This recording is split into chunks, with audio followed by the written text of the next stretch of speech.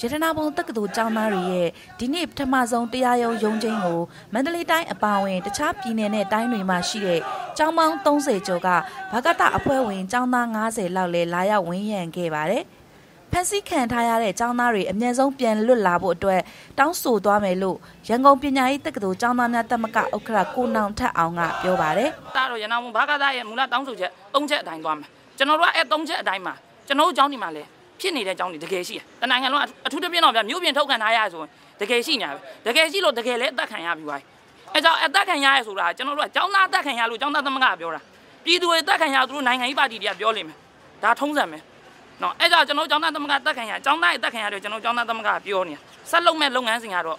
အလားတူပဲ။ဒီလိုပဲလုပ်မှာပဲ။တကယ်လို့ကျွန်တော်တို့ကိုလစ်လျူရှုမဲ့ပေါ့ကျွန်တော်တို့တောင်းဆိုချက်တွေရှိရဲအဲ့ဒါကိုလစ်လျူရှုမဲ့ဆိုလို့ရှိရင်တော့ ဒါကတော့ခင်ဗျားတို့လစ်လျူရှုတဲ့လူတွေရဲ့တာဝန်ပဲကျွန်တော်တို့ဖမ်းတဲ့လဲဒါပြဿနာမရှိဘူးနော်သူတို့ဖမ်းတဲ့ရသူတို့အလုပ်တောင်းဆိုရမှာကျွန်တော်တို့ဒါပဲ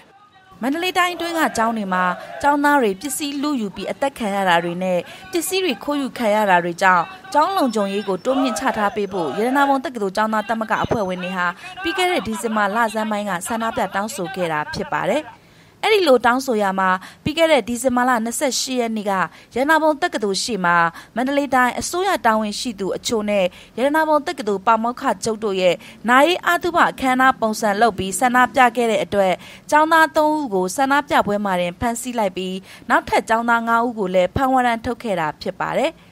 ဖန်စီပီနောက်မှာတော့ចောင်းသားတွေကိုမီးရှို့မှုငိမ့်ဆုစီဥပဒေအပိအားများမှုနဲ့အကြီးညိုပြည့်စည်မှုစတဲ့ပုံမှန်တွေနဲ့တရားစွဲဆိုထားတာဖြစ်ပါတယ်။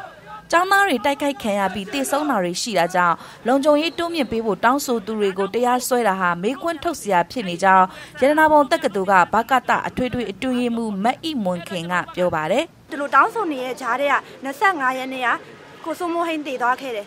ကျမတို့ကြားအဲ့တော့ចောင်းသားတွေကလည်းကိုယ်ចောင်းသားတည်တဲ့အတွက်ကြောင့်မလို့ဟိုစိတ်ဆန္ဒပြင်းပြပြီးတော့ဗောနော်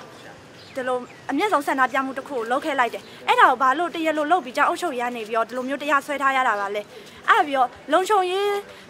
ပေးမပေးဘဲနဲ့ AB တွေကိုဆီယာမတွေကိုဂိမ်းဆောင်ခိုင်းတယ်ဂိမ်းဆောင်ပြီးတော့ဆီယာမဝန်ကြီးဌာနလည်းပြောထားတယ်ဆီယာမတွေကိုဂိမ်းဆောင်ခွင့် ဂိမ်းမစားမှုပြောထားတယ်ဒါကိုကြောင်းအုပ်ချုပ်ရနေပြီးတော့ဝင်ကြီးဌာနရဲ့ညွှန်ကြားချက်တွေကိုအတိအလင်းရှိုးဖောက်ခဲ့တယ်ကျမတို့ကတော့ကျမတို့ရဲ့ကျောင်းတွေလိုအပ်တဲ့လုံခြုံရေးနဲ့ပတ်သက်တဲ့ဟာတွေကိုဆက်လက်တောင်းဆိုသွားအောင်မှာဖြစ်ပါတယ်။ကျောင်းသားကျောင်းတော့ကျောင်းသားအရေးလောက်တာကိုကျောင်းအုပ်ချုပ်ရေးအနေနဲ့ဘာလို့တရလို့လုပ်ပြီးဆွဲထားရလဲဆိုတာအနေနဲ့ကျမမေးခွန်းထုတ်ချင်ပါတယ်ချက်။ ဒီနေ့ရုံချင်းကိုလာရောက်ဝင်းရံတဲ့ចောင်းသားတမကအဖွဲ့ဝင်တွေဟာဖမ်းဆီးခံရတဲ့ចောင်းသားတွေပြန်လည်လွတ်မြောက်ရေးအတွက်ရုံချင်းအပီးမှာအာဇာနည်ဗိမ္မာန်ကုန်းကနေမဟာမုနီဖျားကြီးအထိလမ်းလျှောက်ချီတဲ့ဆန္ဒပြရမှာအထွေထွေအုပ်ချုပ်ရေးအဖွဲ့တွေကနှစ်ကြိမ်တိုင်လာရောက်တားဆီးတာရှိခဲ့ပါတယ်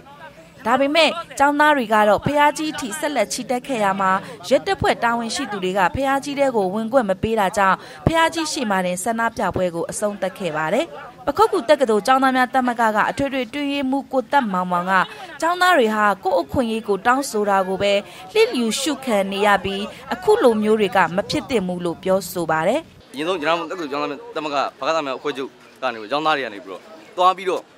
ဟိုတောင်းဆိုတာကိုပြီးပြီးလေးလေးဟိုညှိနိုင်တဲ့ဖြည့်ရှင်းမပေးဘဲနဲ့ဒီလိုမျိုးတောင်းဆိုရတဲ့အတွက်နောက်ဆုံးပိုင်းဟိုအမြင့်ဆုံးဆန္ဒပြမှုပြင်းထန်ဆုံးဆန္ဒပြမှုတွေဒီမလိုလားအပ်တဲ့ဘဲနဲ့ပဲဖြစ်လာပါတော့။ဟိုပြောမယ်ဆိုရင်တော့ကျွန်တော်